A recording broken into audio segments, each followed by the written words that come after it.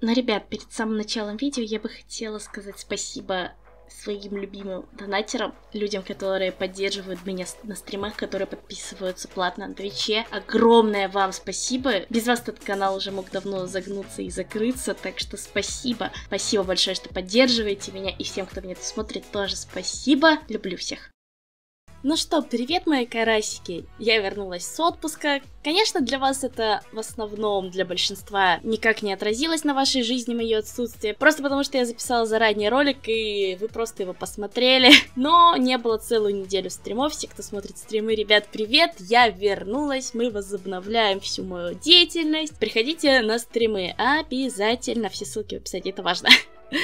Так вот, на самом деле я думала весь отпуск о том, какой ролик записать, потому что я забыла записать заранее и думала, блин, блин, надо успеть, надо успеть, надо успеть, но, как видите, я успела. И мне подкинул идею один паблик ВК, который я чекаю периодически ну, как чек, он просто в ленте высвечивается. Поэтому сегодня, ребят, мы с вами поговорим по поводу прогресса художников и отношения других художников, в общем-то, ко всему этому. Но, ребят, перед тем, как мы, наверное, начнем разбирать саму тему ролика, я бы хотела с вами кое-что обсудить. Вы же сами понимаете, как важно учиться иллюстрации, чтобы в будущем можно было найти себе достойную работу. И я знаю, у кого можно это сделать. Я бы хотела вам посоветовать Skillbox. Кто такие Skillbox? Это образовательная платформа с минимальным количеством теорий, а значит, ребят, вы сразу приступите работать над своим собственным портфолио. У них гибкая система обучения, курсы, которые постоянно обновляются, а главное, доступ к обучающей программе навсегда. Но в частности, мы поговорим о курсе «Профессия коммерческий иллюстратор». Здесь вы научитесь профессионально создавать коммерческие, в общем-то, иллюстрации, персонажей и анимацию. Знания, полученные на курсе от Skillbox, пригодятся, если вы решите стать иллюстратором. И самые главные особенности этого курса, которые выделяют его среди других, это практическое обучение от лидеров рынка Pixies, Choice Studio и других. Вы научитесь профессионально создавать коммерческие иллюстрации, персонажей и анимацию. Узнайте, как продвигать личный бренд, сделайте портфолио и начнете зарабатывать творчеством уже во время обучения. Вы освоите разные графические редакторы, Photoshop, Illustrator, Procreate. Обучитесь выстраивать композицию, работать с цветом, делать анимацию и так далее. Вас ждут онлайн онлайн-лекции, а также практические задания на основе реальных кейсов, с помощью которых вы набьете руку. Один из самых приятных бонусов это то, что вы можете начать обучение сейчас, а оплатить его уже потом. Отсрочка платежа 6 месяцев, оплата с седьмого месяца обучения. А другой приятный бонус, при покупке этого курса вы получите курс фриланс в digital в подарок. Ну и самое главное, ребята, это Skillbox гарантирует трудоустройство по окончанию обучения. Подробная информация о программе курса и регистрация по ссылке в описании, а по моему промокоду Бриза Камура вы получите скидку в 45%. Killbox, твое будущее начинается здесь. Прогресс и прогресс, скажете вы. Все, если много рисуют, рано или поздно прогресс. Но любой художник, если вообще хотя бы учится рисовать, то обязательно прогресснет. Вообще, почему, почему этот ролик существует на моем канале? Но дело в том, что мы не будем обсуждать чей-то конкретный прогресс, даже мой. Это, это не важно. Я хочу немножко поговорить о лицемерии других артеров в сторону, ну, в общем-то, тоже художников.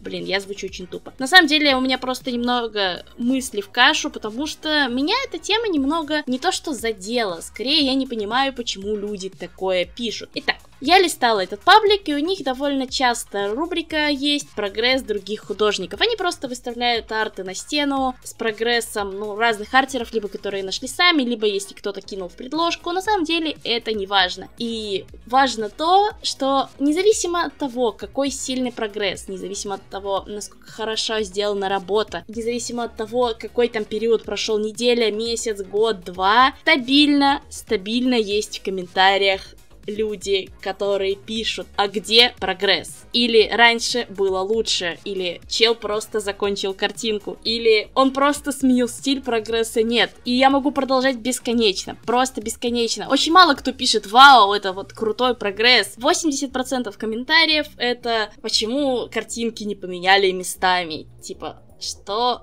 Самый любимый в кавычках тип комментов, это когда там написано «И это всего лишь такой прогресс за энное количество времени», и именно из этих комментов я и записываю этот ролик. На самом деле, я считаю это очень и очень лицемерным. Знаете почему? Потому что большинство художников не рисуют 24 на 7. Вау, вот это я, конечно, открытие сделала. Только если это, конечно, не ваша работа, и вы там уже состоялись в чем. Мы говорим про обычных художников из интернета, таких как я, вы, то есть не рабочая часть, скажем так. И очень лицемерно самому не рисовать столько, но ожидать от других каких-то огромных результатов. Очень лицемерно смотреть на картинку с разницей в три года и говорить, почему так мало, когда ты сам, человек, который написал этот комментарий, дай боже, возьмешь стилус раз в месяц и что-то выдашь. То есть это очень и очень странно. Люди наезжают на других людей за то, что те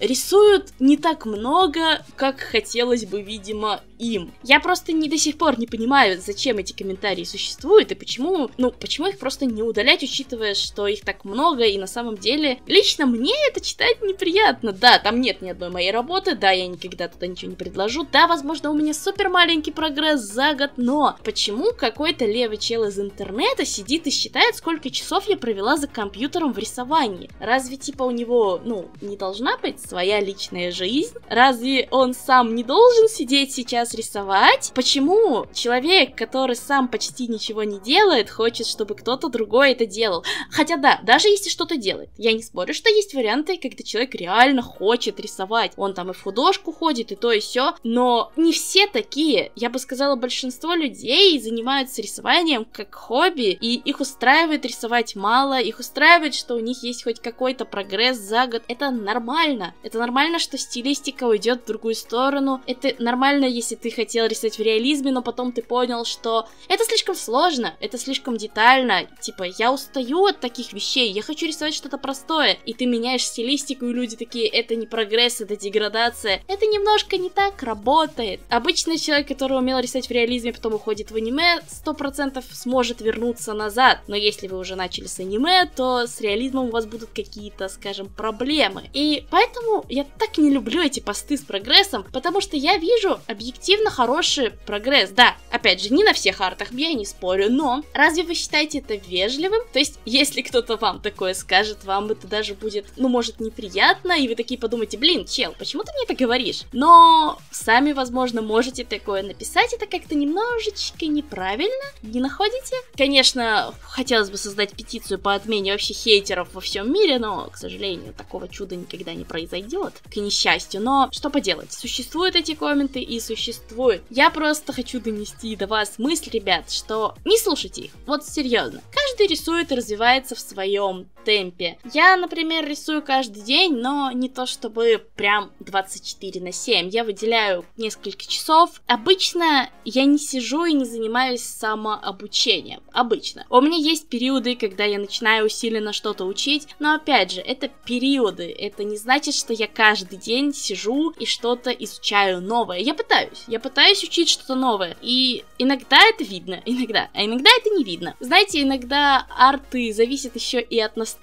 Если ты сел рисовать в хорошем настроении, то и картинка у тебя выйдет определенно лучше, чем если ты сел грустный, уставший и расстроенный. И это абсолютно нормально, когда у художника от работы к работе скачет его скилл чуть-чуть. Типа, не критично. Это, это просто нормально. И подобные комментарии, как по мне, очень сильно неуместны. Я не знаю, почему они существуют, еще раз говорю. В любом случае, ребята, выскажите свое мнение. Неужели вообще вы тоже думаете, что художник обязан рисовать 24 на 7? Если это контент-мейкер, он должен только и делать, что строчить вам картинки в галерею, а если не строчит, то надо от него отписываться. У, плохой художник осуждаю. Ладно, ребят, пишите обязательно свое мнение в комментариях. Подписывайтесь на мой канал, на ВК, на Инст, на Твич. Вообще на все подписывайтесь, я вас всех очень люблю. С возвращением меня, постараюсь вернуться в график. Ну и всем пока!